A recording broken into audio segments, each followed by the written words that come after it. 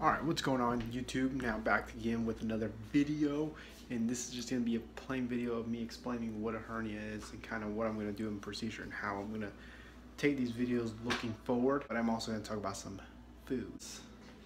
We're all about that health here.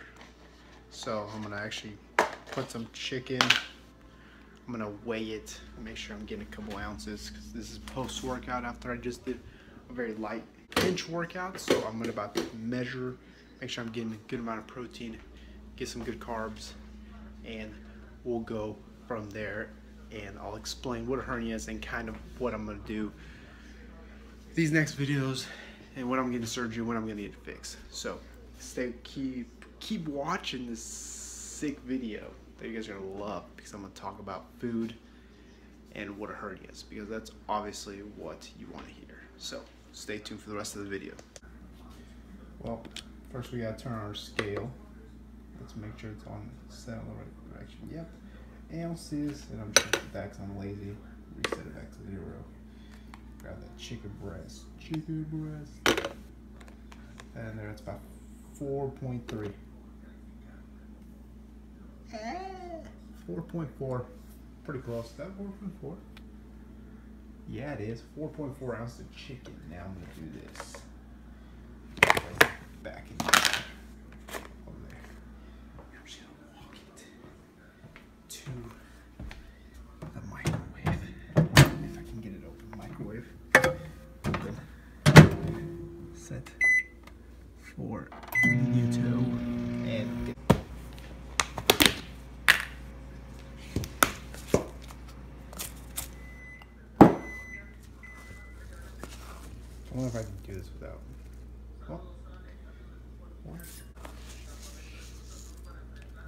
Oh my god, it's such a perfect scoop. Can't forget the water. How do I do this? I don't have three hands. Uh, I definitely don't have three hands to do this. I have no idea how I'm going to put water in there. Bowl. In case you don't have three hands, this is what you guys can do. Make sure it's aligned. If you have three hands, well, you look that well. Make sure you mix the water around. Place it back down. Stop the water and put it in the microwave. Oatmeal cooking. Chicken here. there. I'm gonna eat that chicken. I'm gonna eat that oatmeal. And I'm gonna talk about my hernia. Great stuff to talk about, Alex. And we got some agua for the health because let's be honest, health is everything, and protein, and good carbs because carbs are not bad; they're friends. So, went and changed to a t-shirt, to a snapback because my hair was not looking good and obviously you got to know I work out so I made sure I wore a shirt that I was hugging the sleeves so you guys actually think and know that I actually lift when I don't lift a lot but at least you guys can see it kind of um, so I got all my food here.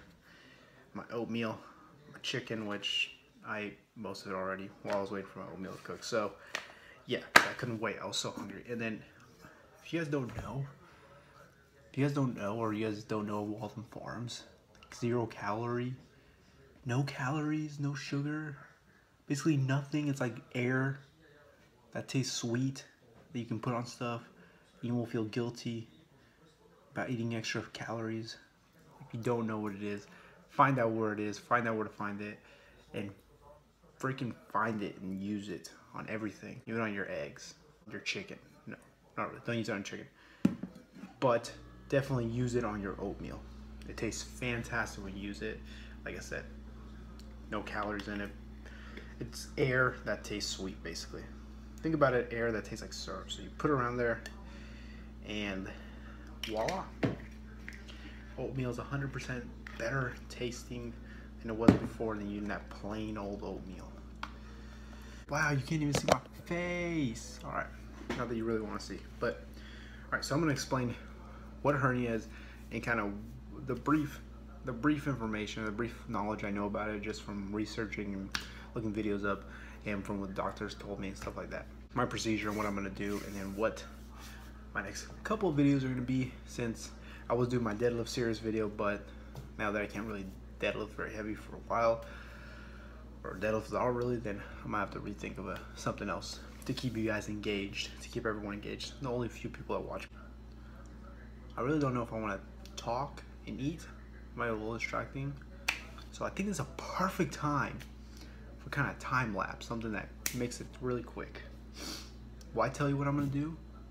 Because probably you want to know what I'm gonna do. So um, yeah, I'll probably time lapse me eating so you can see a cool video of me eating really quickly, and then I can just talk about the hernia. And it's a lot more simple that way than me talking, having mouth come out, having food come out of my mouth while I'm giving you explanation on this. So rather that time lapse it and make it 100% better. So get ready for the sickest time lapse of me eating food or anyone eating food that you will ever see.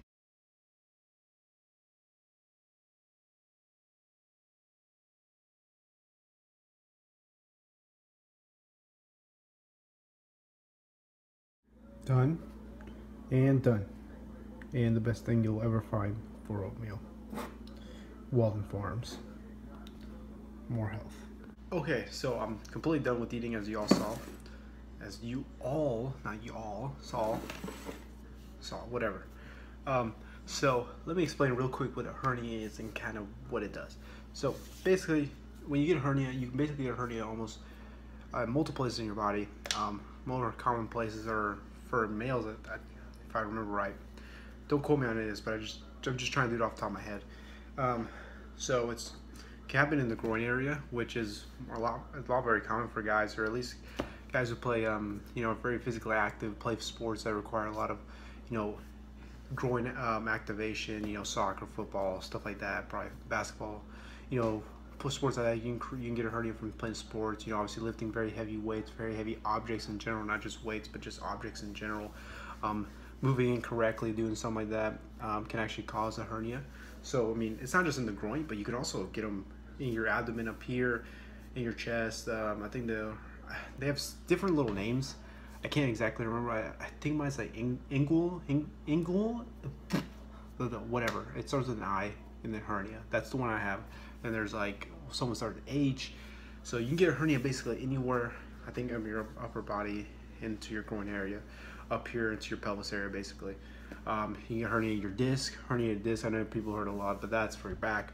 Um, so you can get hernia basically anywhere in this kind of area.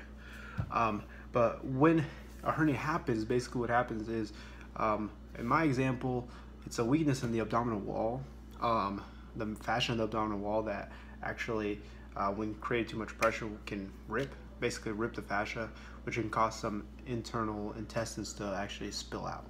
Um, now, with them spilling out doesn't always mean a bad thing. Um, you can spill out, your intestines can kind of come out a little bit and still not be very serious to your health or life endangering, for example, um, like kind of like mine is. Um, but in some cases, if the if the rip or the um, the fascia of the wall is very, very, you know, it's a, is a bigger hole than maybe expected, then more of the intestines could, you know, come out, which, again, I forget the word. It's called like strangulation, maybe. Maybe don't quote me on that again. Um, basically, another word for the intestines out, and um, it's going to restrict blood flow to the to that part of the intestine. Um, if you start if it starts restricting blood flow, then it's going to stop working eventually, which could be bad for your health and generally for your life. I mean, that's what happens to an intestine. If it spills out too much, your intestine, you know, can stop working. Your digestion system is not going to work very well, which can cause not very good problems in the long run. Let's put it that way. Um, so um, the one I have is basically like that. It's not very serious from what the doctors have told me. It's um, I actually don't have any pain. I don't really feel any pain. It used to be uncomfortable, but I think I used to be more uncomfortable when I when I lifted a lot more. When I when I was lifting, so now that I'm not lifting as heavy or not as much, it's kind of not gone away, but it hasn't really been there to bother me. So I'm trying to make sure I avoid making it worse, which I don't want to do. Um, but yeah, you can have, and some people experience the bulge and the hernia. So and people have heard of you getting a bulge when you have a hernia. Um, that's absolutely right. You can have a bulge. I, I had no bulge in my groin, nothing ever um, there. Uh, you can have bulge. That means it's a kind of passed through the um, abdominal wall, which is kind of ripping through the skin in your, or ripping through, or kind of pushing into your skin basically. And like I said, it can happen anywhere in here. And definitely if you do have a bump like that, do, you know, go to your doctor and just get it checked up. You know, I was not 100% sure about it, but I wanted to make, a, I wanted to be 100% sure about it because I kind of felt like I had it and I did have it. So I just wanted to make sure I did have it so I could get it fixed and know what I'm going to do next. So that's kind of a brief summary about what a hernia is. Um, you know, I'll keep explaining more and more as my videos go on. Next, you know, if you guys have any more questions, just comment down below what do you guys want to know about a hernia, the little experience that I know, the little knowledge that I have. Um, so the plan is to get surgery, get it fixed. Like I said, it's not painful for me. Like for me, it's not painful. Some people experience very serious pain, some people don't. If you experience very serious pain, I definitely do recommend you going to get it checked out. Um, and if you feel like it is a hernia, if you have all the symptoms of a hernia, which are multiple symptoms, um, you know, look those online and kind of just, you know, make sure, you know, or just go to doctor and think you have a hernia and they can ask you what the symptoms are and they'll kind of diagnose you if you do or not. Um, that being said, um, so the plan is to get my hernia fixed because in the in the field I do, which is personal training and just lifting weights in general, because I want to look jacked and huge and fill out my shirt more often. Um, all serious note, um, but no, just for my daily activities and everything I do, I need to fix. So uh, what I did is I'm gonna actually go get it fixed uh, sometime soon. Uh, next week is Thanksgiving, so probably the week after that, the 30th. And it's not a very long recovery for some people. It's longer. It depends on the pain. Depends on your pain skill, basically. My pain skill is not very much, so they said my recovery time, at least, um, when it comes to pain after the surgery, is probably anywhere from you know two to three days, depending. So you know, what they're gonna do basically, they're gonna make an incision in my groin area. They're gonna go inside. They're gonna push the intestines back in. So that looks a lot. That looks very wrong. So just kidding. Not a good visual. But they're gonna push the intestine back in. They're gonna put some kind of mesh or something like that on top of the um, abdominal wall that ripped, and that should keep it from spilling out again and reinforce everything again. So it's a very easy process. Like I said, if you're experiencing more pain, they did say that you'll probably have more pain longer, long for longer. You know, the top is five days, but just longer. So I'm expecting not to have a lot of pain, but never know how things will go. So get surgery, and then after that, I have to have about a week of recovery where I don't really lift anything.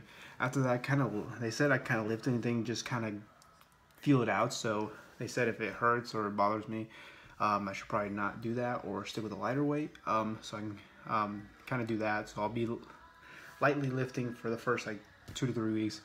Uh, once I get to four weeks, they actually said I'd go back to normal um, lifting as long as everything went okay.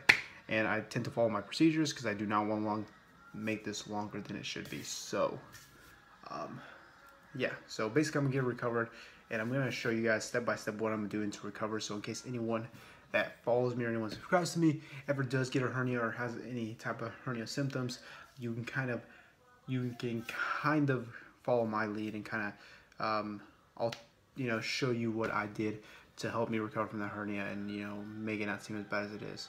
Because uh, sometimes it seems very bad. It kind of puts you down.